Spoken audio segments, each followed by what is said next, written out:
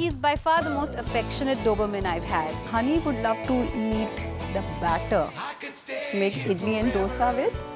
He would just wallop up the whole bowl. He is the naughtiest conceivable Saint Bernard in the world. You come back home and you have such a warm welcome from a dog. I think that is it. Do you also have a story to tell? We are four pets and heavy petting brings you the Tales and Tails contest. To participate, log on to facebook.com slash ndtvgoodtimes.